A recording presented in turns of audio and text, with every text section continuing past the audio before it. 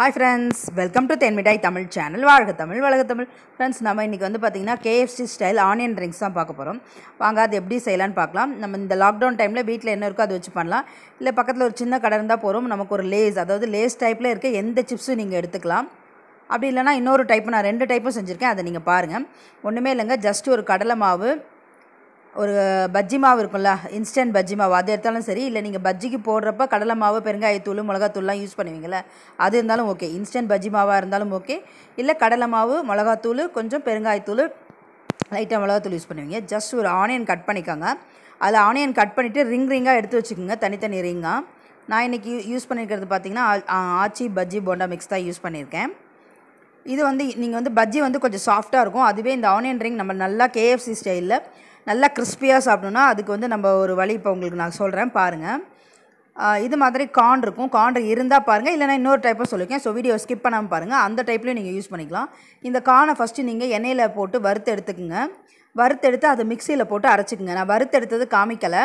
அது நான் உங்களுக்கு காமிக்கலை. ஸோ அதுக்காண்டி நான் இப்போ சொல்லிடுறேன். இந்த கானை வந்து நீங்கள் எண்ணெயில் போட்டு வறுத்துருங்க.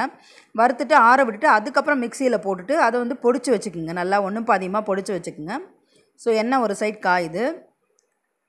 ஸோ இது வந்து பாருங்கள் நான் எண்ணெயில் போட்டு வறுத்து எடுத்துகிட்டு அதுக்கப்புறம் போட்டு உங்களுக்கு மிக்சியில் போட்டு அரைச்சி வச்சுருக்கேன்.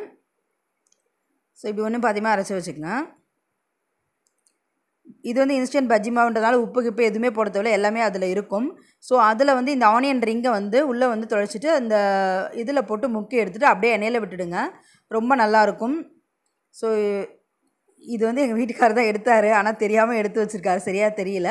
ஸோ நெக்ஸ்ட்டு இன்னொரு ஸ்டெப் நான் சொல்லி கொடுத்துருக்கேன் அதில் நான் கரெக்டாக எடுத்திருக்கேன். ஸோ அதில் பாருங்கள் ஆனியன் ரிங் இதில் டிப் பண்ணிட்டு திருப்பியும் வந்து பார்த்திங்கன்னா அந்த இதில் வந்துட்டு திருப்பியும் டிப் பண்ணிவிட்டு அந்த கார்ன் இதில் டிப் பண்ணிவிட்டு நீங்கள் திருப்பியும் போட்டிங்கன்னா ரொம்ப ரொம்ப கிறிஸ்பான ஒரு ஆனியன் ரிங் கேஎஃப்சி ஸ்டைலில் உங்களுக்கு கிடைக்கும். ஸோ ஃபஸ்ட்டு ஒரு இது முடிஞ்சிருச்சு. நம்ம அடுத்தது என்ன என்ன செய்கிறோம் அடுத்த மெத்தட் என்னன்றதை நம்ம பார்க்கலாம். நெக்ஸ்ட் மெத்தட் ஒன்றுமே இல்லைங்க. நீங்கள் வந்து லேஸ் டைப்பில் இருக்க எந்த சிப்ஸ் லேஸ் மட்டும் இல்லைங்க. பிங்கோ இந்த மாதிரி எது இருந்தாலும் சரி அதை வந்து வாங்கி மிக்சியில் போட்டு ஒன்றும் பாதியமாக விப்பரில் போட்டு குறைச்சி எடுத்துக்கோங்க.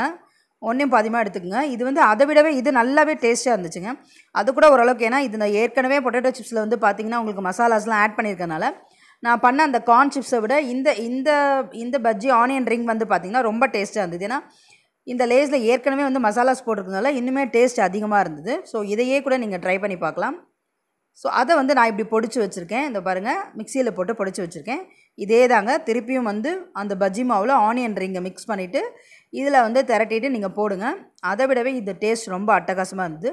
நீங்களும் கண்டிப்பாக இந்த லாக்டவுன் பீரியடில் இதை செஞ்சு பார்ப்பீங்க. ஸோ கொஞ்சம் போர் அடிக்கும். அதனால் இதெல்லாம் கொஞ்சம் செஞ்சு பார்த்தீங்கன்னா சாப்பிட்றதுக்கும் ரொம்ப டேஸ்ட்டாக ரொம்ப கிறிஸ்பியாக இருந்துச்சு. நீங்கள் வந்து ஆனியன் பஜ்ஜி சாஃப்டாக தான் சாப்பிட்டு பார்த்துருப்பீங்க. இவ்வளோ ஒரு கிறிஸ்பான ஒரு இது சாப்பிட்ருக்கே மாட்டிங்க. செஞ்சு பாருங்கள் ரொம்ப சிம்பிள் ஜஸ்ட் ரெண்டே ரெண்டு இன்க்ரீடியன்ஸ் தாங்க. ஒன்று வந்து லேஸ் சிப்ஸு இன்னொன்று வந்து பார்த்தீங்கன்னா பஜ்ஜி மாவு. இது ரெண்டு இன்க்ரீடியன்ஸில் ஒரு கிறிஸ்பான ஆனியன் ரிங் உங்களுக்கு கிடச்சிரும்.